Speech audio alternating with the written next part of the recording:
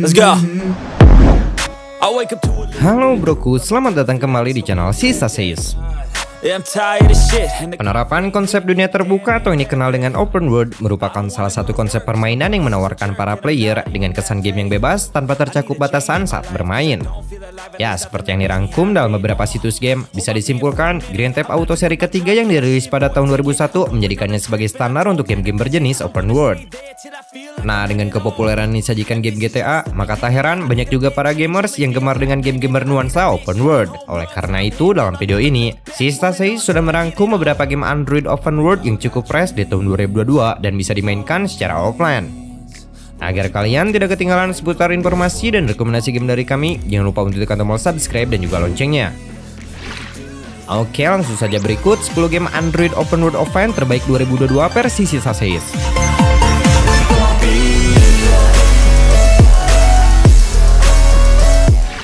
Dragon Quest Builder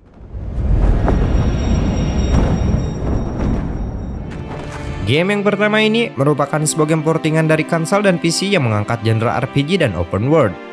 Dibesut oleh Square Enix, game ini menyajikan konsep permainan layaknya Minecraft dengan konsep game block. Menampilkan sebuah game RPG yang seru yang dibangun dengan lokasi dunia terbuka dan cerita yang cukup baik, player akan diajak untuk menjelajahi dunia yang terbuat dari balok, di mana nantinya kalian bisa membangun, membuat, dan menyelesaikan tugas utamanya yaitu mengalahkan Dragon Lord atau bos akhir.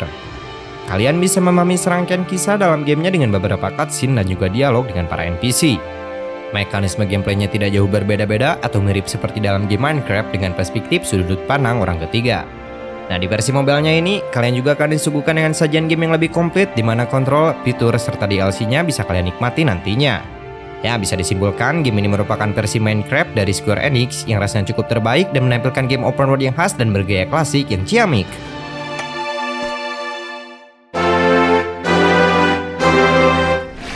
Delivery Food Osaka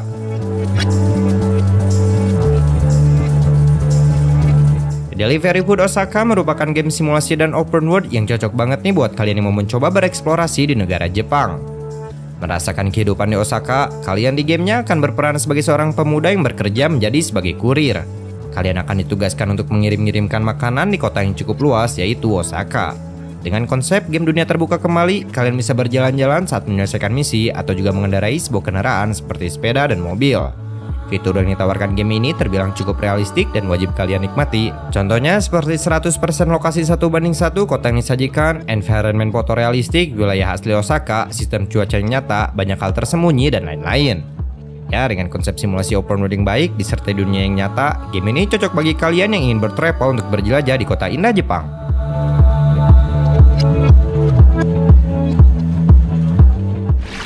OWRC Open World Racing merupakan sebuah game berkualitas kembali, namun game yang ketiga ini menampilkan game open world dengan sebuah kendaraan. Berlatar di pulau Hawaii yang ekspensif dan bisa kalian jelajahi sebebas mungkin. Dalam gamenya, player akan diajak menjadi pebalap di pulau ini dan ditugaskan mengikuti berbagai balapannya yang cukup banyak dan panjang. Mulai dari berbalap di dalam kota, hutan, bukit, atau pegunungan dapat kalian rasakan saat bermain. Hal kerennya, seperti bisa dilihat, game ini tampil dengan kualitas yang sangat tinggi yang dilengkapi dengan mobil-mobil supercars keren disertai environment yang minimalis namun terkesan sangat sempurna untuk dipandang. Untuk mekanik kontrolnya cukup sederhana, kalian pastinya sudah cukup paham dan tidak terlalu ribet. Nah, disajikan kembali berbagai fitur yang bisa dicoba, contohnya lokasi open world 10x10 km, grafis yang sangat tinggi, kendaraan lalu lintas AI yang baik, dukungan gamepad, dan lain-lain. Ya, secara keseluruhan, akhirnya kini Android kedatangan kembali sebuah game racing open world berkualitas untuk dirasakan. Way up. Play the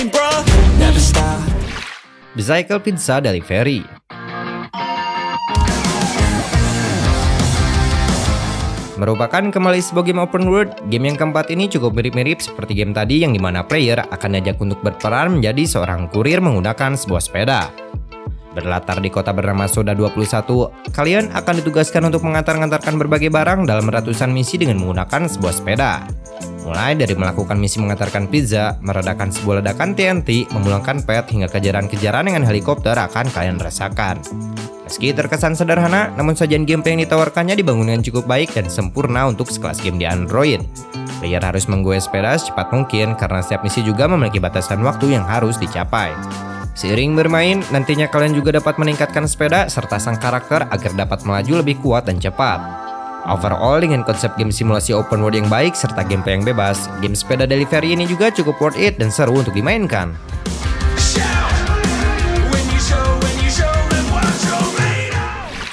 Russian Village Simulator 3D.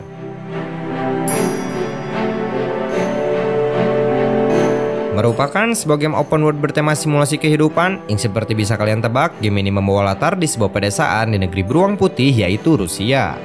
Dibangun dengan game engine Unity, game simulasi ini akan mengajakmu untuk berperan menjadi seorang pemuda desa yang bebas bermain di sebuah lokasi open world. Dalam permainannya, player bebas untuk melakukan apa saja seperti berjelajah dengan mobil, bekerja, hingga menikmati beragam fitur unik lainnya. Konsep permainannya hadir dengan gaya sudut orang pertama disertai kontrol gameplay yang cukup notabene yang dibuat dengan sangat baik dan pas untuk dikenalikan. Untuk tampilan visual grafisnya hadir dengan gaya kartun tiga dimensi yang rasanya cukup pas lah untuk sebuah game live simulation ringan. Ya jadilah pemuda desa yang baik dan rasakanlah nuansa kental dari kultur Rusia di dalam game ini.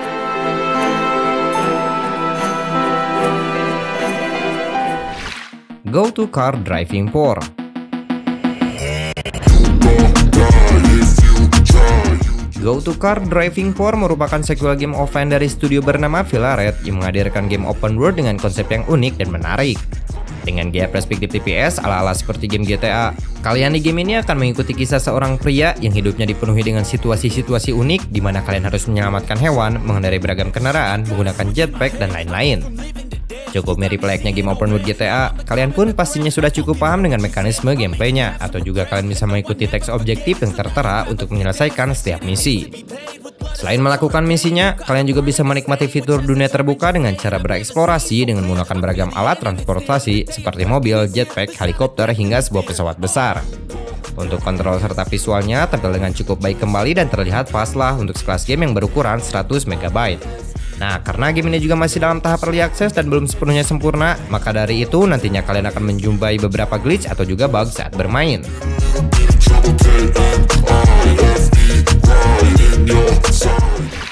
Nos New Nation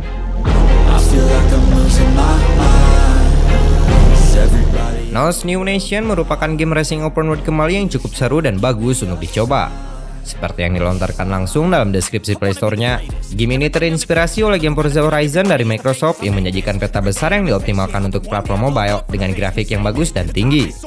Tidak ada tujuan utama yang harus diraih, game ini sepenuhnya membawa gameplay simulasi yang di mana player akan bermain untuk berkendara di jalanan kota yang luas yang berisi dengan lalu lalang AI yang diciptakan dengan sangat baik.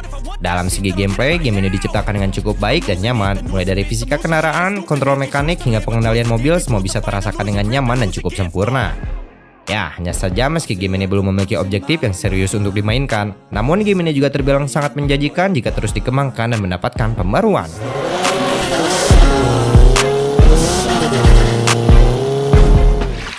Han and Fight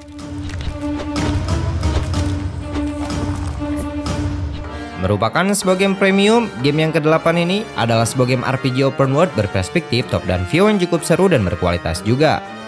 Game ini berkisah tentang sang karakter yang di mana dirinya setelah terjebak dalam badai dan terdampar seorang diri di sebuah pulau antata beranta.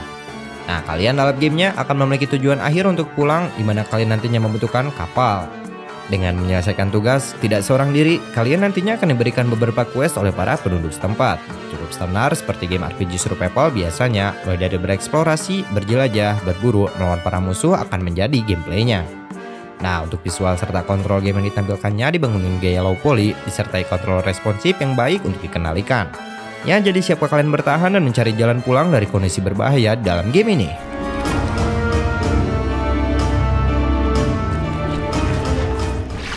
Deer Simulator Modern World.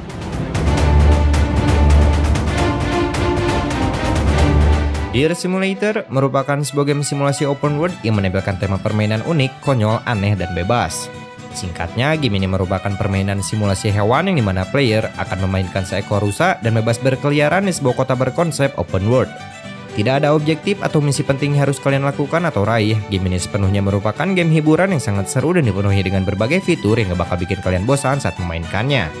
Kalian dapat berjalan-jalan, melakukan keonaran, bereksplorasi, dan masih banyak lagi.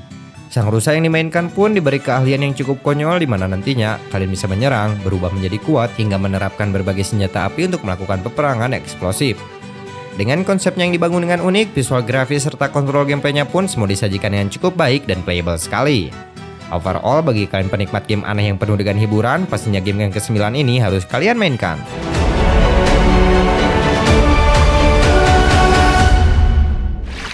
Bus Simulator City Ride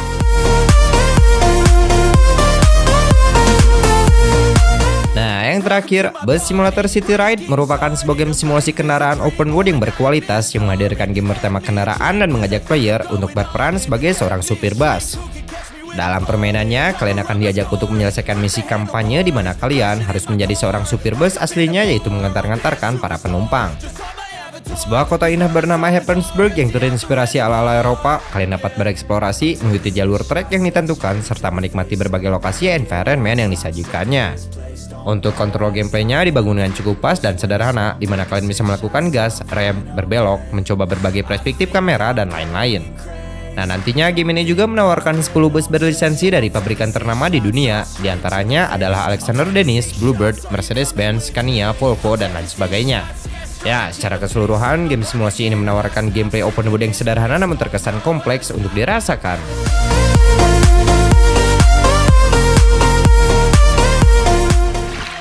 Oke, cukup sekian. Itulah 10 game Android Open World Offline terbaik 2022 menurut kami.